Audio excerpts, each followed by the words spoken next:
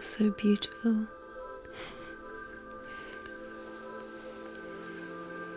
This was um a little unexpected.